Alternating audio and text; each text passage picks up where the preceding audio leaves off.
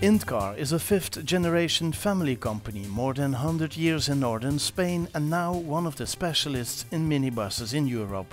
Their buses are on the road in the Nordic countries, Spain, Italy, France and all around Europe. Today we are launching and we are really proud about the next. It's a new project that we have developed uh, together with DAF. It's a new chassis, it's a new body that we have launched three years ago. We are really satisfied. It's a new concept of minibus developed for us as a complete integral vehicle. It's the unique solution probably today in, uh, in, the, in the show. And well, it's our focus for the next coming years to, to push uh, this vehicle. Space for 37 passengers in different layouts and solutions for passenger comfort. Together with DAF they want to discover new markets. They have 5 models and 7 vehicles on their stand on Busworld. Since 20 years Indcar loves to come to Busworld.